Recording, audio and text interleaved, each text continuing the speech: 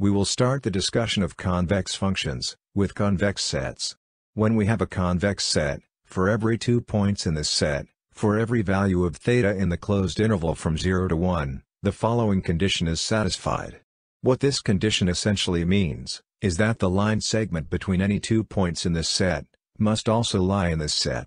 For the example of a convex set, consider the figure on the left, no matter which two points we pick from this set, the line segment between these points, will always lie in this set.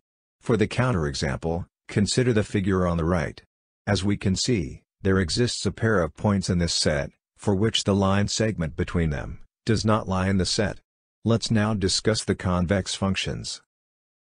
When the domain of the function is a convex set, the function is convex, if it satisfies the following inequality. Geometrically, this inequality means, that the line segment between any two points on the graph of the function, lies on, or above this graph.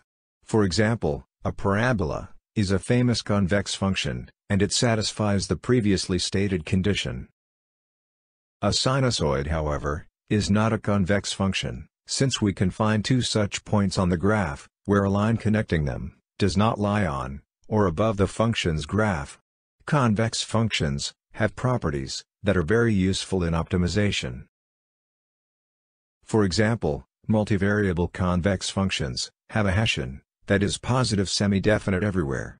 These kinds of functions, have no saddle points, and all their local minima, are global minima at the same time.